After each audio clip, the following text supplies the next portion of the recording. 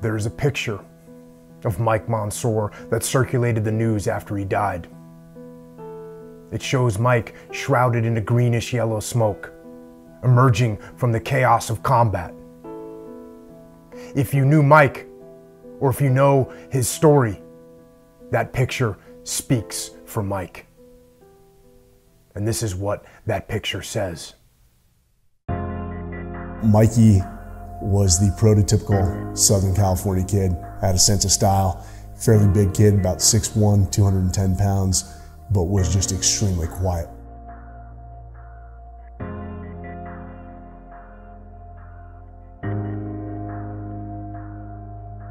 He was kind of a jokester. Every time you see him, he'd have kind of like this uh, grin on his face. So you don't know whether or not he was scheming on something or if that was just his kind of, you know, Southern California laid back nature.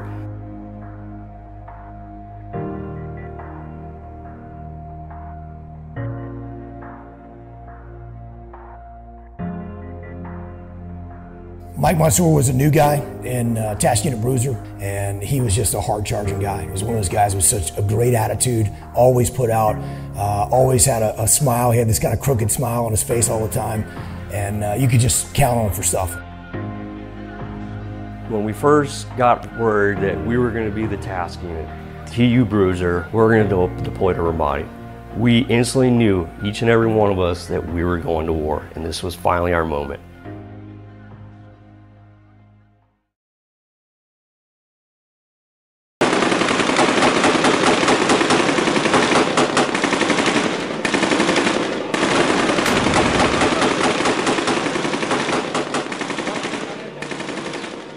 Al-Qaeda owned two thirds of the entire city. Task Unit Bruiser was in the thick of the fight. And for nearly six months, in almost daily, dangerous and violent urban combat operations. From the second we stepped down, we were in contact with the enemy. But regardless uh, of being rattled, it didn't uh, deter the guys from putting their kit back on and getting back out there day after day at a time when so many guys were burnt out, had, had had their fill of dangerous combat missions, Mike Monsoor was so eager to jock up in his combat gear, lock and load his big Mark, Mark 48 machine gun, and get out there with his Delta Platoon brothers and get after it. So this was our last uh, operation for the deployment. You know, we were a week out from going home. It was myself, and Mikey and two of our other fellow SEALs, and then we also had four Iraqi Jundis that were with us. We were so close to going home that when we stepped off on that final mission on September 29, 2006, we were proud of what we had accomplished. And it was a hard fought battle, but we were seeing progress. At some point, we don't know exactly, you know, how they got there or where, you know, how they were able to maneuver and sneak up on us, but uh, a grenade did end up coming over the, over the rooftop.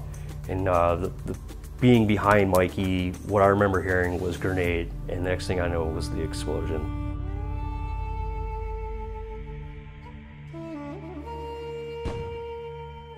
And so he made a very conscious and uh, deliberate, selfless decision. Looked uh, my direction, yelled grenade, and jumped down on it.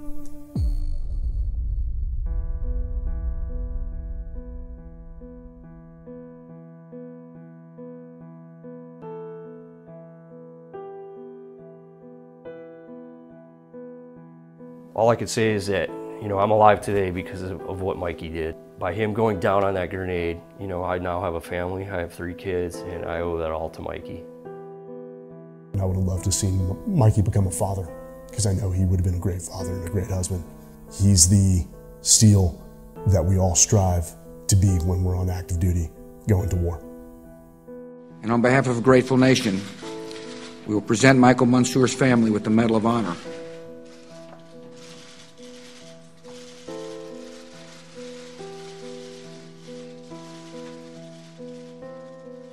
I am Michael Monsoor.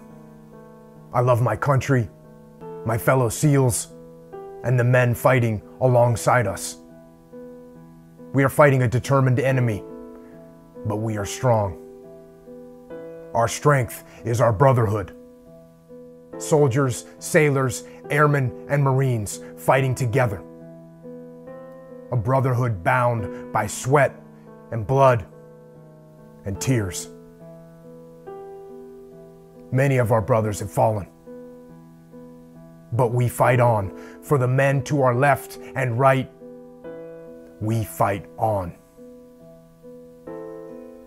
I am Michael Monsoor, and I am ready. Forged by faith and family, molded by belief and brotherhood, I have lived life to its fullest. And I have no regrets. We can't bring Mikey back, but we can live in his memory, in his image, and uh, try to be the best human beings that we can be. And it's just an honor, honor to, to have known and worked with a guy like Mike Monsoor. The moments that I did have with Mikey, I cherish every day. Um, I talk to I talk about him to my kids so they understand. For the United States of America, I christen thee, Michael Monsoor. May God bless this ship and all who sail in her.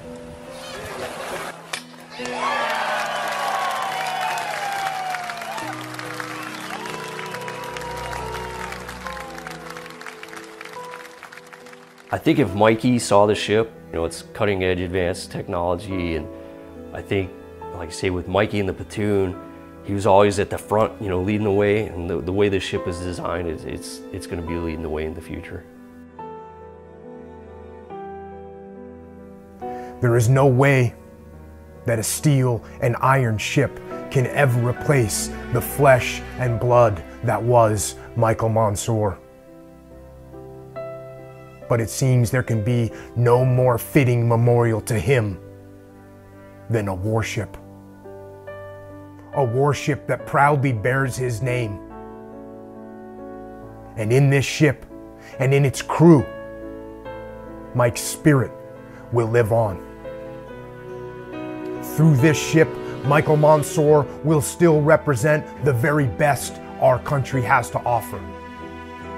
He will inspire the crew just as he inspired his teammates. And just as Michael Monsoor did, the USS Michael Monsoor will go forward willingly into harm's way and will stand tall without hesitation or regrets and face down evil and malevolence, saying boldly to the world, I will defend. That is Michael Monsoor.